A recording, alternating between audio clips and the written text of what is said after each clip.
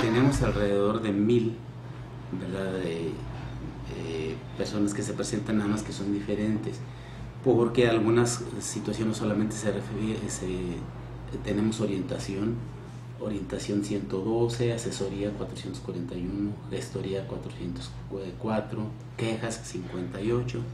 Entonces la, nomenclatura de esto es bien importante porque algunas se resuelven con llamadas por teléfono de aquí a los directores de las ah, instituciones, ¿verdad? Este, atraso en las citas, eh, malos entendidos, entonces, eso es lo que corresponde a asesorías y a gestorías. Ya las quejas, las quejas en sí, sí ya es un problema cuando la persona viene y, este, establece la, queja que tiene todo un formato, es por, por escrito.